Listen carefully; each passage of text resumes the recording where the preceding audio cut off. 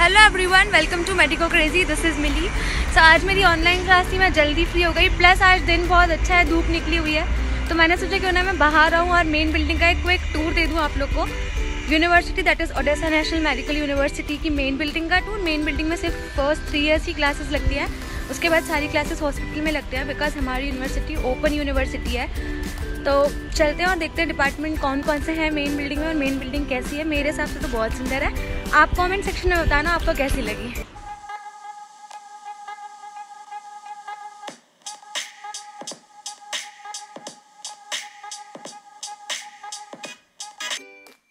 This is the main building of ONMU where we have the departments of first three year subjects. So guys, ONMU is a renowned government university in the city of Odessa, Ukraine.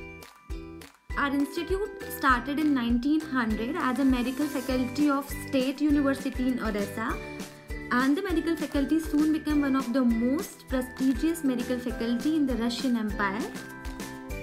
In this building, we have three big lecture halls and all the department of first three year MBBS subjects.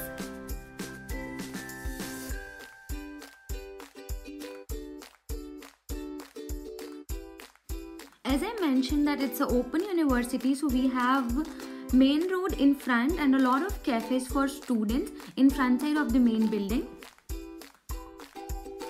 So in front this green building is Department of Anatomy and Clinical Anatomy and on the back side of the main building we have our gym, gym of ONMU and this is the Department of Ophthalmology on the right side.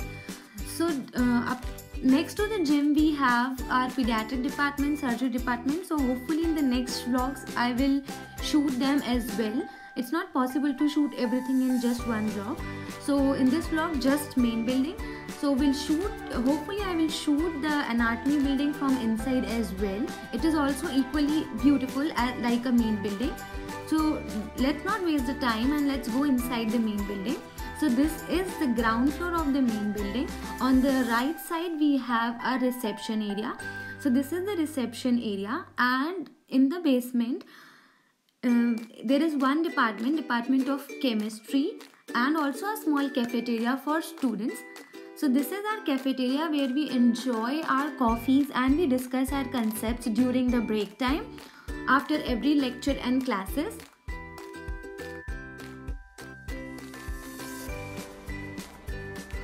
So now let's go to the first floor. So on the first floor we have two departments. On the left side we have a department of physiology and on my right side I have a department of pharmacology. So let's go inside the department of pharmacology. This is one of my favorite department and I just love studying pharmacology that's why I love this department. So let's not disturb them because uh, Russian students are having their classes. So let's quickly go outside and let's move to the next floors. So unfortunately this department is closed and to the next floor in the front they have given us a very big mirror so that you can check yourself that you are looking good or not for the classes. So on this floor we have department of biochemistry. So this orange department is a department of biochemistry. I like the color. They have chosen very bright orange. So on the outside here are the lot of stone sculptures of many famous scientists who have contributed to the history of medicine. I think this is a very good idea to give thanks to the few, uh, to few of the many men and women whose pioneering works underpins modern science. Medicine is one of the most collaborative discipline and without the contribution of these individuals, medical care today would be very difficult. So I really appreciate the work of ONMU. They put the sculptures of many famous scientists by and giving them thanks.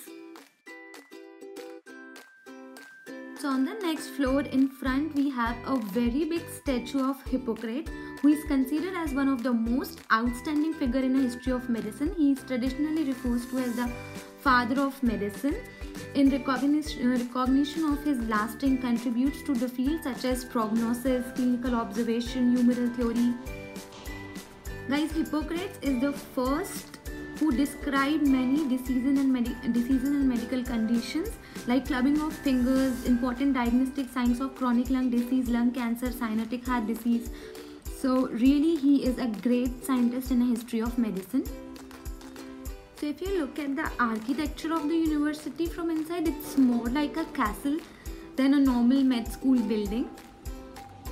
So on the rooftop there are glasses and these glasses will help to come sunlight inside the building and provide a good light to uh, all the floors and this is really a very good idea to save electricity.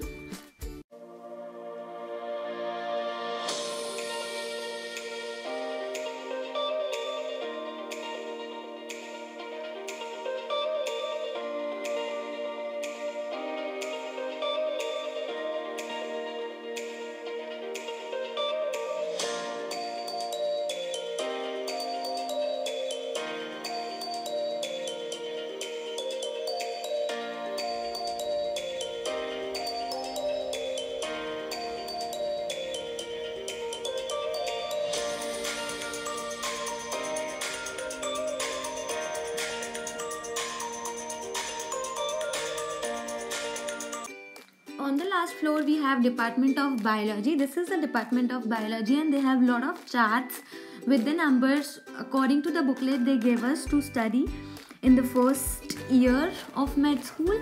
And this is the department of histology. So on the last floor we have department of genetics biology and histology. And they have lots of specimens and they are the real ones. They are real specimens which they used to show us in the first year. This is the brain and a lot of specimens to help students to understand the biology and the basic science before starting anatomy and uh, pathology different different subjects. So this is the basic of the medicine. Students should start with the biology should know the normal biology and then proceed further. So this is why they uh, used to teach us biology in a first year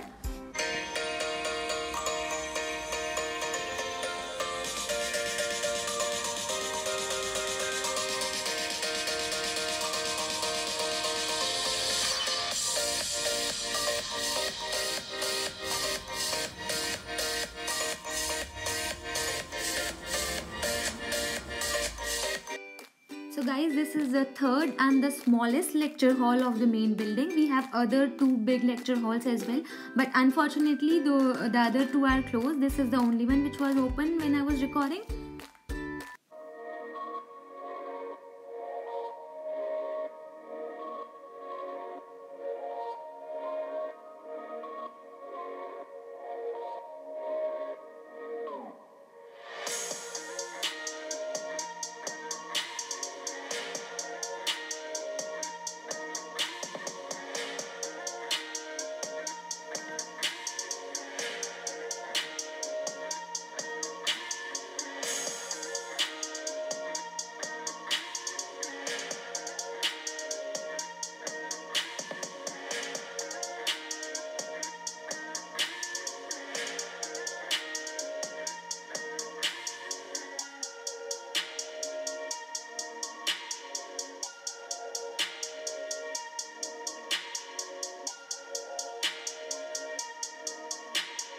So, guys, this is all about the main building departments and the building tour.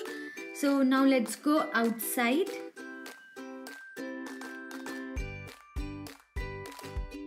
So so guys ये थी main building I hope so आपको main building पसंद आई होगी.